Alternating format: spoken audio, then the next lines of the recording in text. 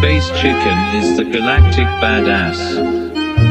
Long ago, the Space Chicken kicked the asses of the bad people around. Then somebody fucked him up. Then he took some time to himself. Now he is back and he is going to make everything better Space